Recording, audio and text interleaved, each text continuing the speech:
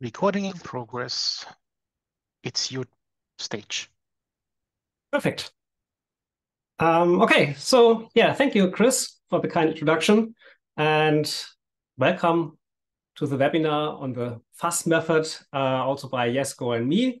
And we are doing this webinar on behalf of the GFSE FAS working group. And in case you don't know what FAS means, here comes the first learning. Uh, FAS stands for Functional Architectures for Systems. And the FAS method is a method that describes how to derive functional architecture from, from a use case analysis. Um, but let's get started and you will learn more about this in this webinar. So, but first I should probably explain the other part of the title. Uh, why is it called very advanced systems engineering? Well, certainly FAS functional architectures is advanced like any other MBSE method or task. Engineering is a tough discipline, and, but that's not the reason for the name. Uh, it's just a little side joke. In Germany, there's an initiative called Advanced Systems Engineering, and we have often heard people complain about it because they felt that their systems engineering was then not advanced on the other side. So, um, of course, the purpose of the name Advanced Systems Engineering is something different. Um, at the same time, uh, the public model of the ESO telescope, maybe you know that one, uh, which I was involved in developing, um, that one is quite famous. And the telescope, people call their telescope very large telescope. And the next generation, extremely large telescope. So they are funny people. And so we thought we start with that pattern too and call it very advanced systems engineering. And maybe next year we'll do the extremely advanced systems engineering. So of course, we do not want to offend uh, the many of you who work with more advanced theories and practices than we show here. Um, so that's about the title. Um, yeah, Christian already introduced us, so we can do this here very quickly. Um, all the roles mentioned here were already mentioned by uh, Chris. So, well, I hand over to Jesko. Do you have something to add, Jesko? Yes, maybe just um, a short uh, introduction of, of what I'm doing here. So as you see also in the in the very short summary of my CV, um, I'm doing all this on behalf of the INCOSE or of the GFSE working groups uh, where I'm affiliated. Uh, you have maybe also seen that I have also professional experience, which which is actually the reason why I'm engaged with, with systems engineering. But all this work here that we present, this is really my private work uh, that that I do in, in my leisure time for this um, for this chapter. Uh, of for this German and Swiss chapter of INCOSE. This is also why you will see examples that are freely invented and have nothing to do with my professional work. And this is why we can also freely discuss these examples without creating any conflicts of interest. Uh, that is what I just wanted to add to the introduction. Yeah, very good. Thanks. So, well, let's start. Um, and let's take a look at the timeline of FAS, of the FAS method. Uh, Jesko and I found the method in 2008, 2009. Uh, normally, you don't invent a method, um, you find it. Uh, it's similar to a pattern, it's a documented good practice. And our achievement was to document it, to refine it, and think through the method and all the details. Uh, we published the method in 2010 at the GFSE annual conference, TDSE. And then one year later, we chartered the official FAS working group within the GFSE. In 2014, we published the FAS method uh, in English in the Wiley Systems Engineering Journal. Before that, the FAS method was only available in, in German in an official publication. Uh, of course, we celebrated the fifth birthday of FAS, uh, again at the TDSE conference in 2015. And in the same year, we published the book Model-Based System Architecture. Um, so Jesko and I and two other were the authors of this book. It was published by Wiley. And one chapter of the book explains the FAS method. So not the whole book is about FAS. It's one chapter that explains the FAS method and it has been the official source for FAS for this method uh, since then. And well, during the COVID times, we celebrated the 10th birthday uh, of FAS, a virtual event. And last year, the second edition of the book was published with an updated description of the FAS method, including extension for cyber physical systems. And well, and here we are with a webinar. Uh, the FAS working group within the GFSE uh, works on functional architecture since 2011. And well, we share experiences in our group, uh, how we work with functional architectures. Uh, we work on add-ons for the FAS method uh, and so forth. So we have several online meetings per year. Sometimes we meet in person at the annual GFSE workshop, uh, which is similar to the INCOSE workshop, but only in Germany. Um, and well, we provide webinars like this one today. So, well, to be precise, we provide two webinars about FAS. And today is part one, which focuses on the concepts and the theory of FAS. Uh, we will provide an overview of functional architectures. We will, of course, present the FAS method and show the concepts um, on a simple example system. We will show uh, different representations of the FAS method and finally show you one of the add-ons for FAS, which is called the SAMS method. And the part two of the webinar is on November the 8th um, at again at five o'clock Central European time. And then the focus is the application of the FAS method in practice with demos and in real modeling tools.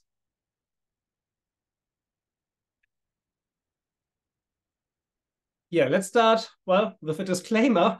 Uh, a, method is like a medicine, but can do a lot of good things, but there are also side effects and used incorrectly can also uh, do harm, of course. So when using methods and tools, it's important to know why you are using them. What's the purpose and what is the expected benefit? That's important.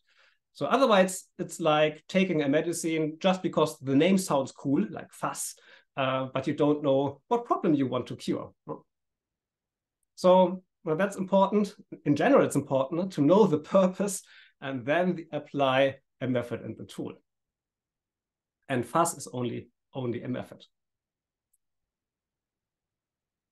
So why do we bother with functional architectures at all? Um, so uh, functional architectures are based, well, as the name says, only on functions, and they are independent of possible concrete implementations of the functions. Of course, those functions are already based also on technology decisions. We, we do not start very, very high level uh, in a um, completely technology independent world. We already know that we would like to build an aircraft, and uh, a car, a hearing aid, or, or whatever. Uh, so we already know some of the, the objects that we would like to use, um, but we, we do not cover the object that were invented then in the solution space. So, um, of course, there must be a purpose building a functional architecture because otherwise uh, it's useless. Uh, we do not sell functional architectures to our customers, so there must be a purpose. And the purpose, well, we mainly build systems to achieve functionality. So whoever likes to keep developing systems with market success needs to be in control of the system functions. That's important. And functions are the essential core of the systems. Um, so we explicitly take care of it and ensure that the interfaces between the functions works as needed. And with functional architectures, we can master side effects and change impacts regarding the functions. So that's the main purpose for uh, doing functional architectures.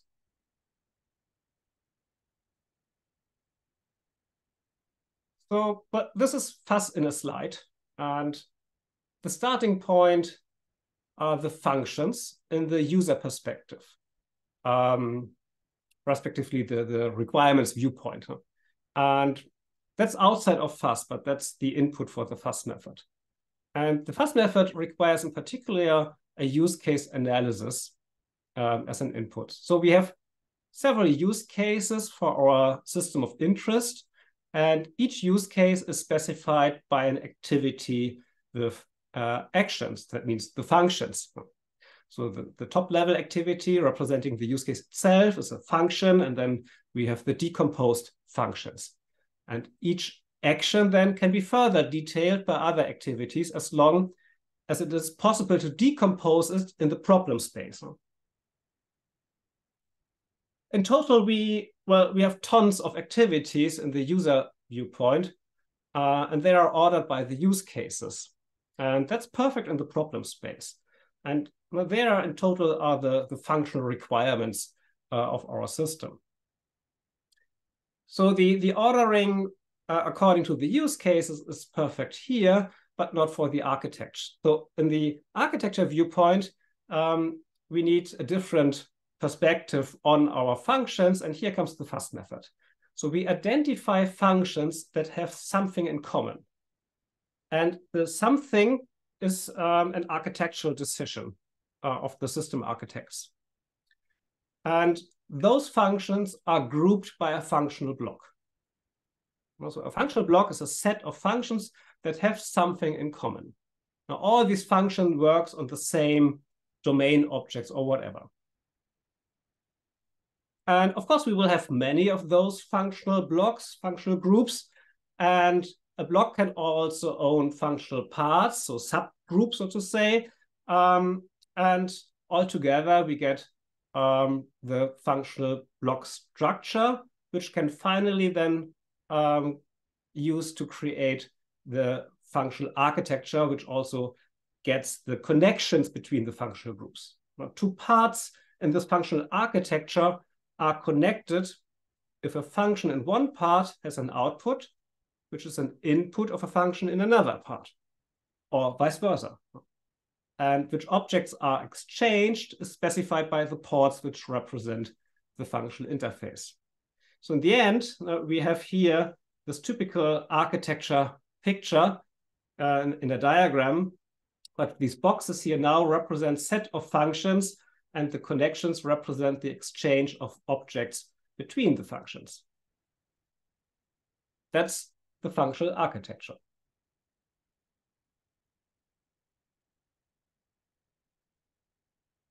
So let's illustrate this method with a simple example.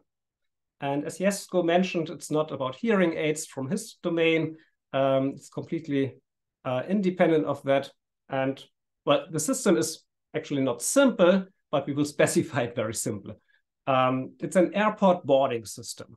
And most of you know the annoying boarding process, which costs a lot of time and is not very convenient. And the core idea of our airport boarding system is a cabin that can be detached from the aircraft. Uh, this allows people to take their seats at their leisure instead of waiting at the gate. And the cabin is put on the aircraft uh, as soon as it is ready. So the system is not pure science fiction. Uh, it is inspired by an article uh, in the Times. But well, as far as I know, there is no prototype available um, at the moment maybe in the future. Um, so as mentioned before, the input of the FAS method is a use case analysis. Um, so we need a context. You can see it here.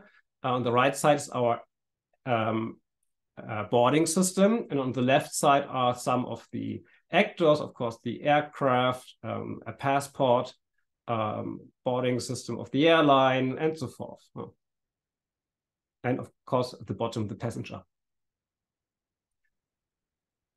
And well, we have the use cases. Here you can see only two of them. One is uh, get access and the other one is uh, leave the cabin. And that's the most important thing for FAS. Uh, we have the functions, uh, respectively the activities behind the use cases. So here is one activity um, of the use case get access. And in the activities world, we only need the actions, so the functions, the pins, so the inputs and outputs objects of each function, and the object flows between the actions. That's what we need for FAS. The control flow does not play a role for FAS.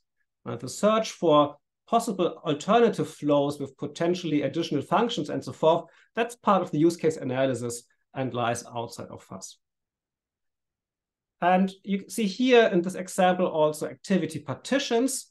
So uh, they represent here the interface functions to the individual actors. Uh, so if I zoom in here a bit, for example, here we have the passport, uh, and here we have the read information, identification information. So this is a function of our system, but it directly has an interface uh, technology in there uh, to access the, the actor, the, the passport, and so forth. Here's the booking system of the airline to retrieve the booking data, the cabin baggage is scanned, and the passenger is here. And the right column uh, shows all the other functions that have no direct relationship to, to the actors. So this slide shows only one activity as an example. And of course, we have a lot of them in a real system.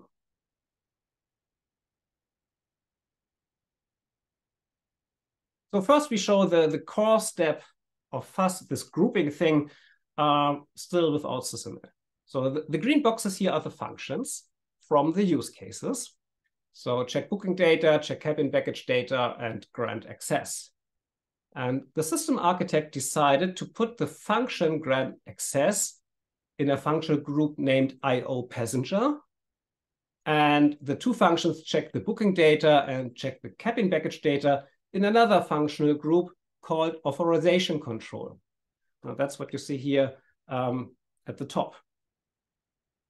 And between the functions, we have an object flow, the approval of access, the approval of the cabin baggage, and the cabin baggage requirements. So these arrows here uh, represent object flows. As mentioned before, this is not SysML. And now we can um, derive the functional architecture. Um, so each functional group is a functional block in the functional architecture, and the object flows between the functions in different groups are flows between the appropriated parts in the functional architecture.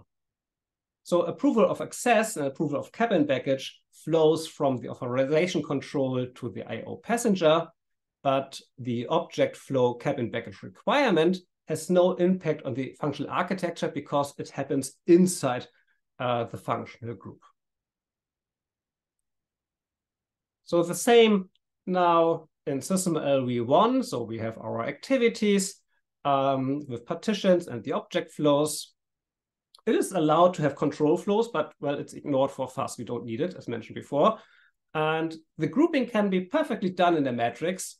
So the functional group, um, which is respectively a, a block in SysML, a system has no, a SysML v1 has no uh, grouping mechanism that can be used for, for architecture work.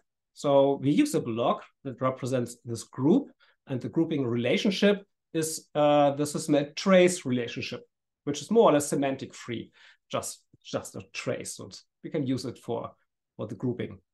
And this can be done in a matrix. You see it here. We have three functional groups, authorization control, IO passenger, and the root group system that stands for, for everything. That's the root element. And here's the grouping. And then the functional architecture uh, well, is then depicted in an internal block diagram.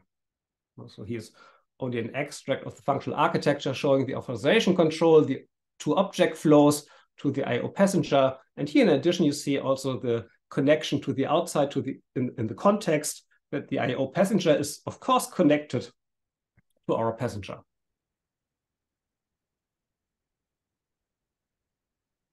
Well, for various reasons, working on a model is usually not a, a good task that you should do together with many people in a workshop.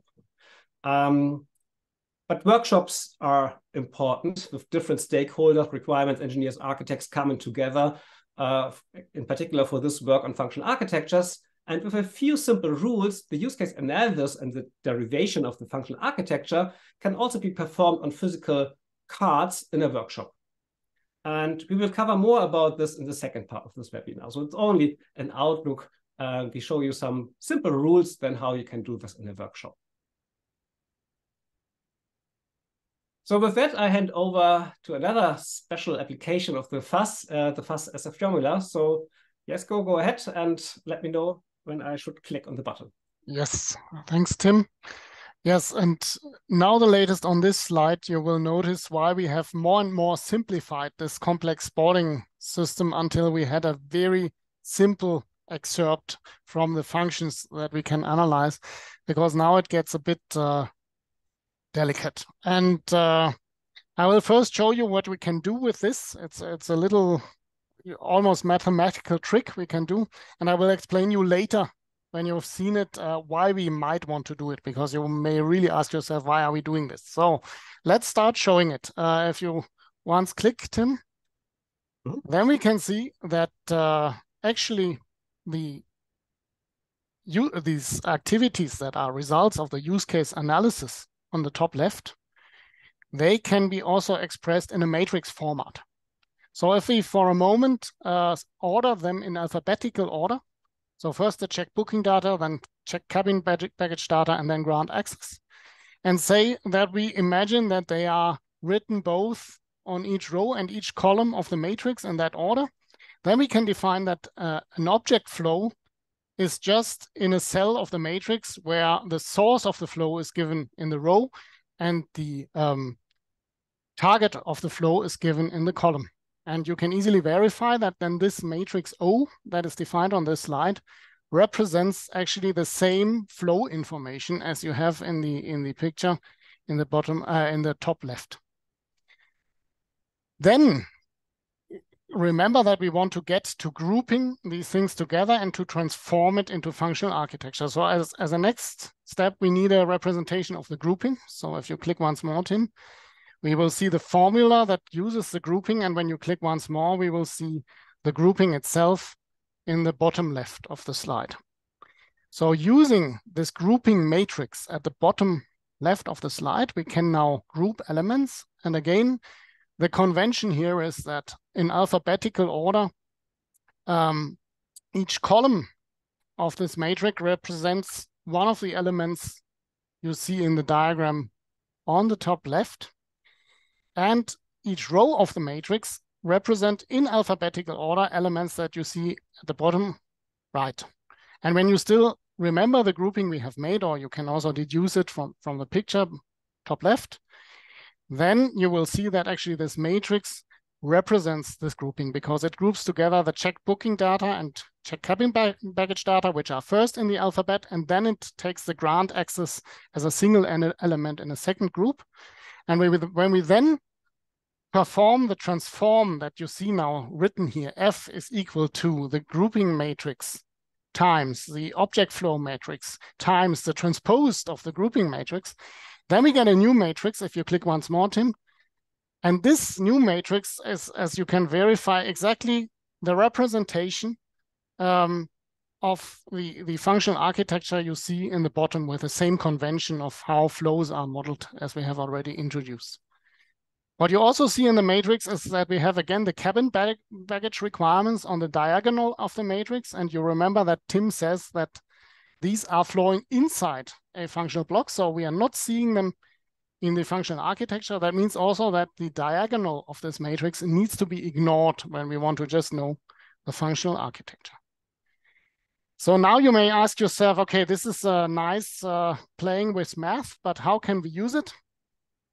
Um, actually, this representation was found when when we tried to to port the the FAS method to the SysML version two, and we were looking for for a very precise specification on how to implement the FAS method. And then we found out that yes, it's it's most precise when you can formulate it as a formula, and here it is. So this formula that you see on the slide f is equal to g o and the transposed uh, times the transposed of g. Uh, that is a very precise definition of how to apply the FAS method. And we have then even found that with symbolic calculation programs, you can even fast prototype uh, an implementation of the FAS method because you need to just introduce these matrix formulas and then you can already perform the transform. But we will get more to demonstrations of this in part two of the webinar. So if we go just to the next slide, then it's now my honor to already summarize this first part of the webinar about the, the FAS method. So we have seen that to apply the FAS method, we first need to identify a system context, so the, the boundaries of the system with the external actors, which may be persons or, or other systems. We need to then identify the, the use cases of the systems and we need to refine these use cases by uh, refining them into these activities that represent the system functions. When we have done so, we can go into the actual main steps of the FAS method, which is to first grouping these activities into functional groups and to then derive a functional architecture from the use case activities and where then the flows in the functional architecture are actually given by the object flows between activities that have been grouped by functional groups. And by having seen that this can be represented in a matrix formula, you may already kind of uh, see that there's a high automation potential. So once we have actually entered the data of the FAS method into a tool, we can automate uh, the second main step. And that we will also show in part two of the webinar. So one last thing about the slide, if you once more click, please, Tim.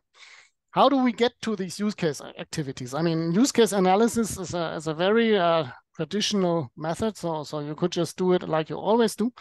But here we have one uh, proposal, which we call the SAMS method, and which I will now introduce if we go one slide further. Then I can also define what SAMS stands for. It stands for Storyboard Activity Modeling for Systems. And as you already see in the title, it's apparently about uh, some storyboards that describe the system or more precisely the operational scenarios of the system. And why is that important to, to do that via storyboards and not just via classical use case analysis? We have the hypothesis that this makes the operational environment of the system more tangible for the teams that will develop the system. And we could just go to the next slide to illustrate this a little more. Here we see a very far-fetched example, and I will later talk about realistic examples, but let's assume that R&D is not aware that it can rain on the airport where our boarding system is placed. They will assume that uh, you only board in sunshine. Then actually it might be forgotten to protect the passengers boarding the aircraft or, or this aircraft cabin from the rain. But as soon, if we click once more, as soon as we can convey the message via storyboard picture of this rain, that, that what is the real operational environment, uh, the developers working in the in the R&D, they will be much more familiar with the uh, operational environment they have to build the system for. And that can only be to the advantage of, of the quality of the system that will be built. And I said it's a very far-fetched example. So if we go one slide further, we will see a, a, box appearing in the bottom left that says in which cases it may be a bit more realistic that conveying the operational environments to the developers is indeed a challenge. So imagine, for example, surgical systems. So systems that are either used during medical surgery or that are even implanted. In this case, you cannot pull the whole R&D crew into the operation room where surgery is performed just to see the real operational environment in action. And the same, I guess, goes for space systems. And there are probably many more examples where it's hard to convey the operational environment where the system is really used to those developing the systems. And I think there the storyboards showing the op operational scenario in the real operational environment of the system, there the storyboard can really help that uh, was all for the motivation. So we can maybe look at what is the SAMS method. That's the next slide. So we will create personas to describe system actors. We will then describe operational scenarios with storyboards, and we will then identify use cases based on these storyboards. And now we are coming back to the FAS method, since we said that uh, the most important input for the FAS method are these uh, use cases we have now kind of the starting point for then going on with assessment. And then I will hand over to Tim to show you the details of the SAM, uh, SAMS method with our example system. Yeah, so here are the personas, or at least one persona, the passenger persona. Um, again, as an example, we, we use our airport boarding system. And when describing the personas in a workshop, a designer or a graphical facilitator uh, can draw the personas in parallel with the discussion. Um, we did this in an example workshop and was was perfect. No? The the designer worked on an uh, on a tablet and um, draws our ideas uh, in parallel while we discussed uh, how the passengers will will look like. And of course, uh, this will reveal the characteristics of of the actors. Uh, which may lead to special requirements for the system, such as uh, a stroller for, for the families, a, a, kit, so different sizes of persons, uh, we have a passenger with a lot of duty free purchases. Uh, we have this business people that always talk on the phone and do not listen to announcements and so forth. We get get some ideas. Uh, it also makes fun. It's uh, creative, um, and you, you, find these special requirements uh, that are easily overseen. So, um, yeah, and then well, we then we tell the stories. So uh, that's the next step in the workshops, the, the stories that are told by, by the stakeholders in the workshops, so requirements engineers, the product management, um, and also uh, systems engineers. Um, and they tell the stories how the actors will use the system. And again, in parallel, the uh, designer uh, does the, the drawing um, and then in the interaction between the stakeholders in the workshop and the designer, the storyboards develop with many ideas and, and specialties. So the painted storyboards make the requirements more, more tangible, as uh, Jesko mentioned, which is in particular important in, in areas where um, they're not so tangible, like in surgery rooms or in the space. Um, and it promotes creativity and uh, identification of, of the special requirements which are the risky ones for, for the projects. So here uh, our example is, is quite simple. Um, so in this video from a sample workshop, now the idea came up with the detachable cabin. Now, so the, the designer uh, draw a normal aircraft in the beginning, and then uh, the stakeholders realized, uh, now we, we would like to have this detachable cabin. Um, and in this workshop, uh, a stakeholder also recognized that we need this weather protection, no? so the passengers could comfortably enter the cabin uh, from the airport terminal. Of course, this could be uh, then uh, later this familiar finger at the gates uh, on the solution space, but it can also be a friendly airport employee with an umbrella or so. Um, so the solution should not be anticipated here, although the designer, of course, uses a concrete solution for the visualization. Um, but we, we are looking here for the functions and for the requirements and not for the solutions. But well, the, the border between the problem space and solution space is it's not a strict border. It's a little bit fuzzy and it's always a forth and back. Uh, that's uh, part of the art of the engineering to, to master this um, forth and back between problem and solution space yeah, and finally, uh, maybe we have then here our storyboard uh, of the boarding process here from access control, then uh, the protected boarding, the weather protected boarding. Um, and you see here another solution is, is not serious. No? It's just the function weather protection uh, visualized by, by the designer. Uh, then uh, the seating and the luggage storage here. Um, then the arrival of the plane, exchange of the cabins here. Um, well, this is FAST 23, that's the uh, plane that arrived uh, are 42, of course. Um, and now we they exchanged the cabins and we can depart and in, at our destination, the passengers can leave the cabin while uh, the cabin is reloaded and or whatever.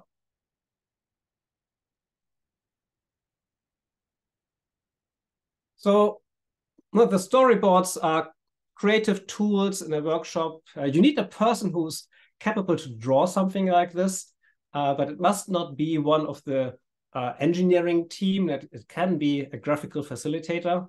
Uh, you probably have seen some of those genius in, at conferences. Also, um, and these storyboards are very good in the workshops for the exploration of the problem space. Then. And of course, they are also valuable documentation and should not be then finally stored in a network drive. Uh, it should be part of the model. And in part two of this webinar, we will show you how you can link the pictures of the storyboards uh, and even only areas of the pictures with model elements. Yeah, and with that, well, we, we come to the end and um, outlook to the second part. Yes, I think it was my honor to, to give an outlook to the second part uh, because I made a lot of promises, especially of things uh, that will be shown in the second part. So as announced, uh, we will di deep dive a bit into these workshop techniques where we can use the, the FAS method only with pen and paper. And we will then, uh, for those who think that one should go a step further, also show how you can model outcomes of, of such work or already start modeling during the work work. We will also, of course, show what, what Tim just promised, uh, how you can link to storyboards in a modeling tool so that you can apply the SAMS method. Um, we will also show some aspects of model organization that are enabled once you have decided to go into a modeling tool. And finally, we will also uh, show the systems modeling language SysML v2 that is under preparation and uh, show some experiments we have made to, to ensure that all the things we show you with SysML version 1 will also be feasible with SysML version 2. Yes, if we maybe go to the last slide, uh, it shows some references. I won't read them to you, just uh, if you were interested in what we have shown here are some key references. And the last one is actually a German paper. That's the one of about this matrix formula. But all at the bottom, you see a link where we have provided an English translation for those of you who can't read it in German. And that is the end uh, of at least our talk. So thank you for listening already. And we go to the questions, I guess, Chris. Yes, yes, we do. So feel free to pick the question you like to answer. Just mention the name of the questioner, please, before, and read the question. That could be helpful. Um, yeah, okay, so, well, I, I see nine questions, and I start at the top. Um, so it's from Markus Nordstrand, and he asked, are the functional blocks equivalent with the logical blocks in the OOSEM methodology? Um, well, often functional architectures and logical architectures are a little bit mixed up. and they are well, they're, they're closely related. Um, in OOSEM, well, they are not equivalent, but they are similar, I would say. The, the logical blocks in OOSEM um, are not completely technology independent, so they are already physical, um, but with a strong focus on, on the functional um, aspect. So it's it's quite similar, but not equivalent. So OOSEM does not make this difference between functional architectures, logical architectures, and um, product architectures or any kind of other architectures. So should I go to the next one? Yes, please. um, next one is from Laura Brown. How are functional groupings different to logical components of a logical architecture? Yeah, that's uh, it's it's similar. So I think in, in some methodologies it's um, we're almost identical. It depends how you define logical components. So um, logical architecture is defined some standards as um, the uh, technical and physical concepts. Um, um, so it's already technical and physical and therefore not a functional architecture which is independent of the technical and physical concepts. Uh, but well, in some methodologies, logical is uh, also understood like we understand the functional grouping or the functional architecture stuff. Um, Next one is uh, from Ferhan Mushtaq. Can you explain the how you have created the object flow matrix and the grouping matrix? So I assume that's about the formula. Uh, so I hand over to Jesko. Yes, uh, exactly. So um, the object flow matrix and the grouping matrix. Um, these are two different matrices. So, so the object flow matrix, it actually represents some functional entities and the flows in between, just like also the functional architecture matrix. And for both those matrices, there's the, the same principle that they will only contain the flows and and the entities between which the object flows they must be kind of kept outside the matrix. That means you need to you need to order them in a certain order. So this is why i always said that they are in an alphabetical order because then you can translate them to matrix indices right? So the first uh, one in the alphabet is the first matrix index and so on. Um, once you have identified these uh, matrix indices, uh, you can take the construct that you have and you can say, okay, where is a flow? And where the flow is, uh, you identify the source entity and the target entity. And then the source entity gives you the um, row index and the target entity gives you the column index. So this is how to how to make this correspondence between these matrices um, and uh, and the and the model. Then, how is the grouping matrix uh, created? And thank you for that question because I I think uh, I went over it very quickly. Um, so the grouping matrix is created by already knowing how you will do your functional grouping. So for instance, you have done some some sketches like like Tim has shown them, or you have worked with the cards like Tim has shown them. So in some way, you know your grouping already. And then you can again encode kind of which of the activities from the use case refinement will go into which group. So again, you need to kind of name your groups so that you can sort them alphabetically.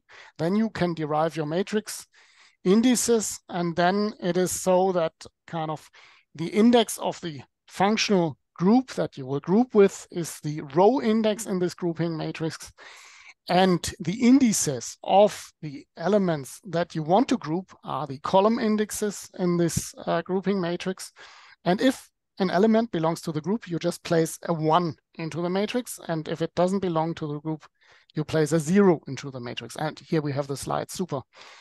And actually, something now that we're already talking about uh, things I forgot to mention here. I mean, you see then also in the result matrices that everywhere where you don't have a flow, you also have a zero. So zero means no flow. And we also see one peculiarity of all these uh, conventions, and that is that you can have multiple flows between two entities. Uh, we have this here between the authorization uh, control and the um, IO passenger that we have two objects flowing. We have the approval of access and we have the approval of cabin baggage. And this is indicated by a plus sign. And the interesting thing is that this convention holds both for encoding the object flow matrix and for decoding the functional architecture matrix that, uh, that a plus sign means you have multiple flows.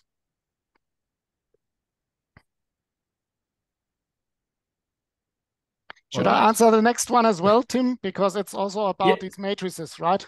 Yeah, makes sense. Yes. So we have from Martin Simmons, we have the question the FAS method appears to have some relation to the design structure matrix method. Did you look into that? And the answer is unfortunately no, because this, this matrix formulation is actually quite new. We were actually long time we were not aware how close actually our representations of, of functionality are to matrix representations of systems. And uh, and uh, this design structure ma matrix method is, is is one. We have a lot of methods for example that are just based on n square matrices. And also these suddenly get much closer to the FAS method after having discovered that it can be um, represented with these matrices. So, so already in the paper where we published this formulation, we identified it as further work that we now need to explore all these methodologies again that we have quickly scanned when we when we started with the FAS method because they seem to be much more similar to this method than we assumed when when we published the method for the first time. The next question, I think that's uh, where Chris can answer is, will the slides be available? I guess yes. I guess yes. If you hand them in, I will make them available. Yes. Okay. Yeah, we will do. um, Arjen Spans asked what uh, is the rationale for grouping uh, system activities in blocks? Why not refactor the similar activities is correct elegant abstractions and make sure that similarity is accurately depicted without losing behavioral aspects that activity diagrams provide.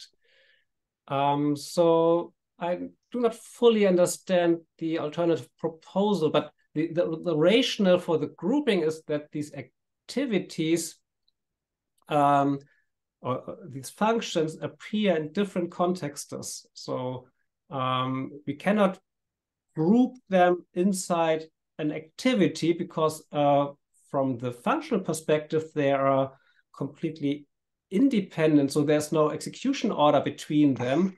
Um, they just have something in common because they do, for example, some acoustic functions or something like that, but they're they're used in completely different use cases.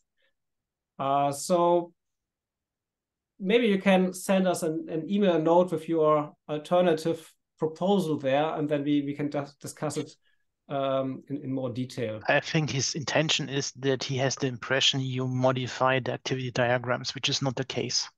That's not the case. No, no, we do not That's- change that- the use case part.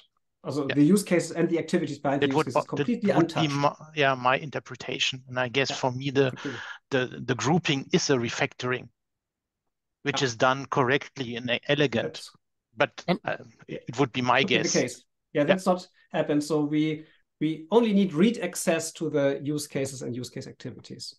I may There is no maybe add add one aspect, and um, that is that architecting is also about investigating solution alternatives. And also in building the, the functional architecture, one may want to investigate alternatives of how to group these activities. And often a grouping where you modify your activity model is destructive. That means afterwards you have kind of locked yourself into one grouping. Whereas when the when the grouping is a, is a separate kind of starts a separate space, a solution space, then you can make actually multiple scenarios with multiple groupings and compare them and keep them in one model. That FAS would offer the, the option to have several architecture concepts by creating several function architectures using different grouping patterns. Absolutely. Exactly. Yeah. So I think I can combine the next two questions. So Daniel Patrick Pereira asked, what is the advantage of using storyboards to the FAS method? I mean, the SAMS provides additional information. And uh, Joshua Blott asked, what's the biggest advantages uh, you see by the storyboarding method you showed, for example, compared to the use case modeling using activities?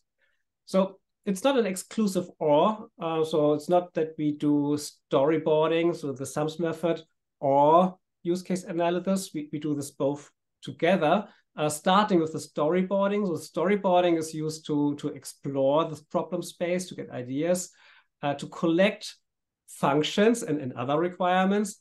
Uh, and then we can derive the, the use cases from the storyboards uh, and link the use cases and the use case activities uh, in the model with the storyboard images. That's what we will show uh, in the next webinar, the part two. Um, so we we need the use case analysis for the FAS method. It's that's always there if you do FAS. Uh, and we can add this storyboarding to explore the problem space in more detail to well to to improve the use case analysis. I would say. Do you understand the function architecture as a final step in the problem space? Is it the output of the problem space? Mm, No, the functional architecture is more. mm, Well, if I have to decide between problem and solution space, then the functional architecture is in the solution space. If um, if I have not to make this decision, then it's in between. Okay. We also we also noticed that um, often architects used to think in block diagrams, whereas analysts Yeah. are more familiar with this activity style pattern. So even if it's actually a, representation of exactly the same functional uh, composition of the system, because it's just grouped, it's not modified, right? The functionality stays the same throughout all this transformation, but the the ah, we have the slide still on the the representation yeah. top left is more suited for for the analysts whereas the representation bottom right is more suited for architects and we have actually found cases where architects reviewed the representation you see top left and didn't spot any error and after this automatic transformation into what you see bottom right they immediately spotted the error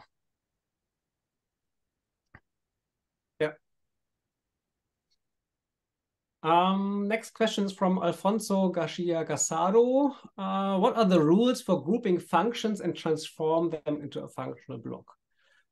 So, well, in, in our original paper about the FAS method, we described not rules, but heuristics. So what are heuristics to put functions together in a single group? So for example, all the functions that are responsible for the IO to, to one specific actor are good candidates for a single group um, that represents all the I/O functions for this actor. So um, I/O passenger was uh, an example here um, in, in, in, our, on our slides. So inside this I/O passenger group are all the functions responsible to get data uh, or objects from the passengers and uh, in the other direction.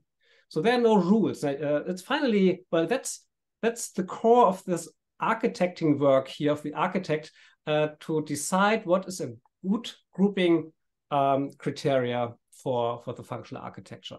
Now you can do nonsense like uh, every function that starts with A is in one group and everyone with B is in a group and, and so forth. That's nonsense, but you can do that.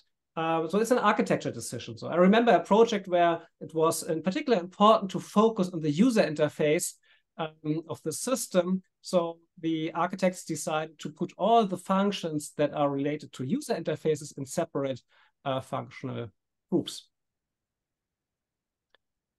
Um, next question is how we could drive storyboards if the operational domain is huge.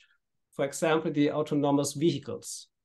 Um, yeah, well, then that's uh, then it is a lot of work.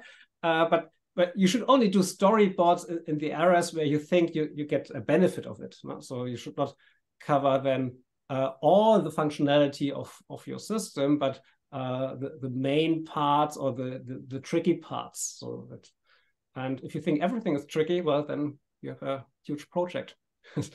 and uh, then you should do everything there.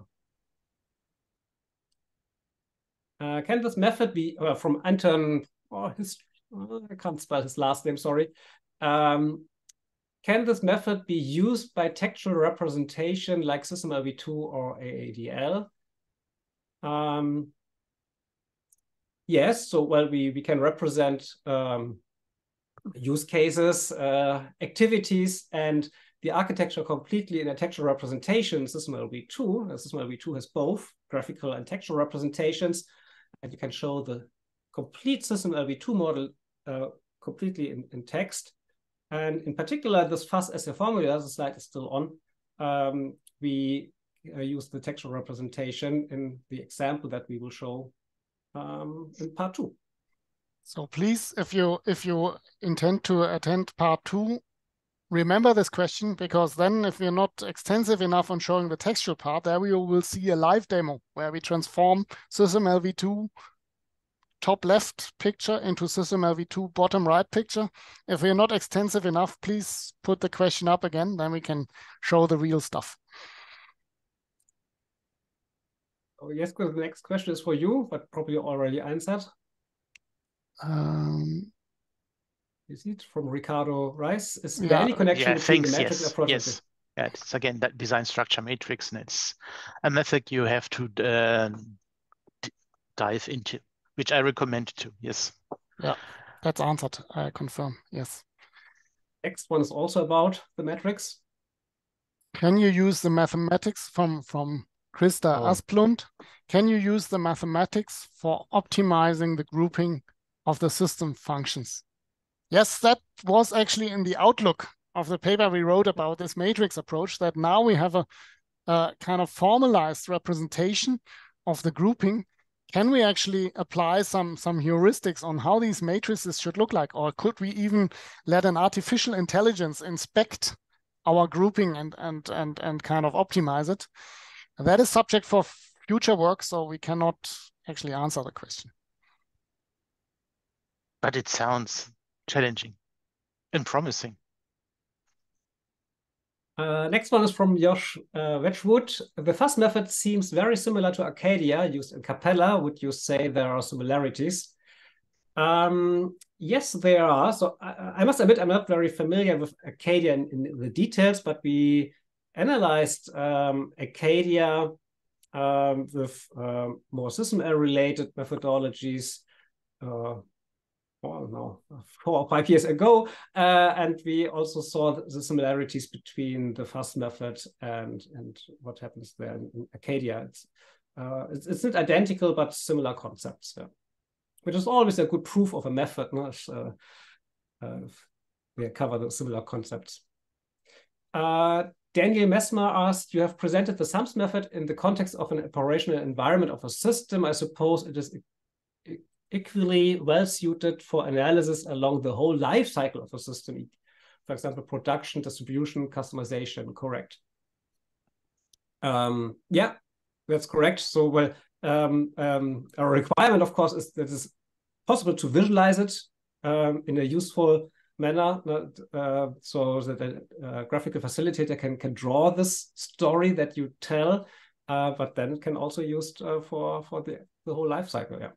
So anecdotally, we have one picture where where the passengers leave the aircraft, where we already see service personnel interacting with the cabin, and in our kind of collection of pictures that we have not shown today, we have also pictures of service personnel actually screwing screws at the cabin. So that is explicitly encouraged if it provides value. Oh, ah, the next question comes from Eric Herzog. Uh, hello, Eric. uh, he always has very good, tough questions. So uh, Eric wrote, one of the challenges we see in the application of MBSE is that it is possible to create a lot of information, which is very costly to maintain over time. For this reason, we are trying to focus on modeling as little as necessary. This means modeling as much as possible informally, perhaps on a whiteboard, and only transfer what needs to be maintained over time to the model that will be maintained over the live system. Your thoughts? Um, yes, yeah, you're right. Uh, but also a model has a life cycle and you must maintain it. Uh, and that costs effort. Uh, that's not an easy task. So it's always good to, to limit it. Um, and for example, it's regarding the, the functional architectures. Um, I also know projects that do this approach, but it's a throwaway architecture. So they have already the, the use cases and, and the activities. That's part of their model. Um, and then they do the functional architecture to get some insights uh, in, in, the architecture world and mapping to the physical architecture, but then they throw it away. Well, they, they document it somewhere, uh, but they do not maintain it, and it's not part of the of the model. So that's also one one approach. So now you can do this in a workshop, focus on the main things. Of course, it depends on the system. Then it's a one or two day workshop with requirements engineers and system architects, get your insights, uh, and then that's it. So maybe you do this a few months later again. Um, yeah, I would, um, would uh, would like to add maybe that that um, the older I get, the more I get convinced that the most important tool of the systems engineer is the garbage bin. Hmm. And and in my experience, really here is a good chance when when doing all these things, do doing them in workshops, doing them ex extensively in workshops to create a mutual understanding, and then filter and only model where really kind of the transition into a formal model provides actual benefit for the organization. Um, just I'm looking at Jesko and I'm thinking about addressing concerns and viewpoints, and I because I'm not agreeing it is uh, how you measure necessary as little as necessary, and for me the measurement is concerns, and then you can address stakeholder concerns and you know what is necessary. But I guess uh, Jesko can tell you more about it in a third or fourth webinar about this. And then I have to, of course, uh, maybe maybe um, say a bit more on how how I usually operate the garbage bin. So usually before we even start modeling, we put up a modeling questionnaire where we say what is actually the purpose of the modeling endeavor. And then we throw away things that do not contribute to the purpose or the original purpose of, of the modeling endeavor or we extend the purpose. And the purpose is exactly what you mean when you say concern, Oh, it's uh, three minutes after six. I'm not sure how much time you have, but I would say we pick two or three more questions and then we finish the webinar because it's getting late. Um, yeah, so I, I still pick from the top. Um, so are there any specific criteria uh, from Johannes Schlereth? Uh, are there any specific criteria on how to create a functional group, for example, naming, maximum amount of functions, etc.? Um, well, we have a guideline for the naming, so um, it's it's only a group of functions. So the name should be a noun, while a function itself, an activity or an action, then in the model, um, should be a verb plus noun, so like do something. Um, but the functional group is uh, then control functions or, you know, example of federation control or IO passenger and things like that. Maximum amount of functions, well, there is no specific rule for FAS. If, if you have 100 functions in a group, it's probably a good idea to create these subgroups. Um, but it's, well, if you don't need it, then you should not do this. So, so there's no um, specific FAS rule for that. You should, uh, my experience, you should not call it uh, power generator, but power generation. That would be a good functional group for me, for example. Yeah. Yeah.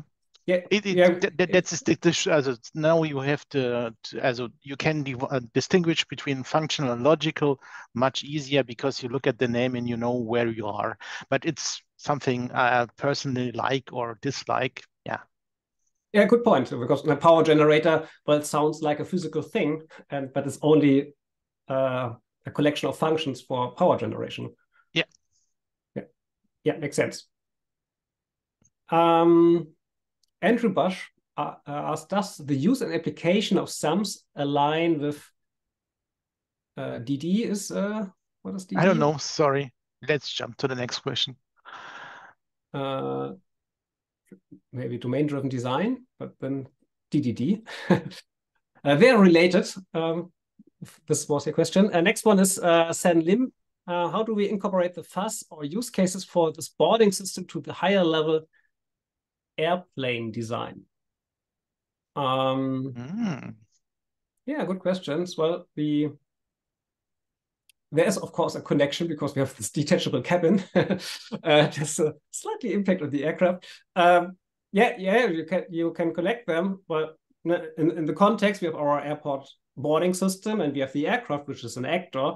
And so if we switch the the viewpoint, then we then the aircraft is a system of interest. It also has a functional architecture. And on the other side, the airport boarding system is then um, the actor. And, and you can connect these functional architectures um, to create well, an overall functionality.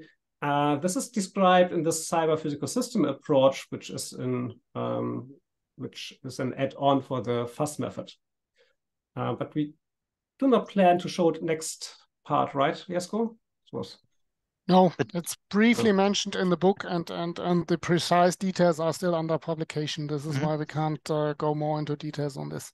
But the incorporation uh, would be helpful because you get a much better um, or much uh, detailed use case context diagram because you can extract it from the upper level there you see they, it could be the upper level of the airport i guess. But um, for me uh, it, it, makes sense to uh, not to investigate the context diagram which i need to have the ios and to get it from the upper level. The, yeah. Okay. So well you said i should pick two or three. I picked yeah. three. So okay. uh, i see there are many many more interesting questions yeah. uh, but many uh, many. um, uh, there's still 26 open questions, more and more um, coming up. Uh, yeah. There. Yeah. So, well, if you're still interested in the answer to this question, so just send us um, a message by email or on LinkedIn or whatever. Um, maybe there's a discussion thread below this announcement on LinkedIn or something like that. I can uh, I can extract the questioning report and send it to you. Um, I will just uh, suppress all the participants who didn't answer any questions and it's you can feel free to answer them if you like yeah This is the only thing I can offer. Mm -hmm. Okay, uh, I'm. Mm, it's getting late. Let me see. I'm changing. So the only thing I have to say or to mention are the upcoming webinars. So as uh, Tim and Jesko mentioned, there is a second part scheduled for November 8. Registration is already already opened. Uh, feel free to register and we will uh, we, will, we will pleased we will will be we will be pleased um, uh, to um, to welcome you again. And there was the information about that uh, the Swedish chapter is hosting a webinar on October 19th about the handbook uh, fifth edition released in 2023. And this is presented by one of the um, handbook editors, David, David, David Walden. So let me see on my notes what is open. So Tim and Jesko, thanks for a great presentation. Um, uh, thanks for a great talk and applause to the audience for all the questions in your time. Um, thank you for attending. We hope we, you enjoyed this talk. Good luck and goodbye. Thank you. Thank Bye -bye. you. Goodbye.